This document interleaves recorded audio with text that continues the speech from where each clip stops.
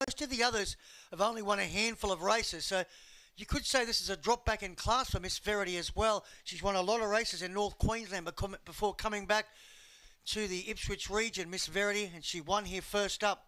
Last start from box one over the 431. Can she make it two on end?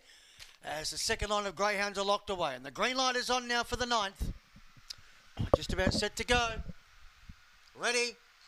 Away. Beginning well was Miss Verity also. Hotel California came out well with Carter and high esteem, but it's going to the lead now. Hotel California, race two in front of Miss Verity chasing. Carter's up to third, then Kayak, Kyrabar, Kid, Zebden, Lamisha and Miss Verity next Thursday, but in the straight, Miss Verity took the lead late. Gus is clear from Hotel California, who ran a cheeky race, but Miss Verity too strong, wins by two lengths. Beat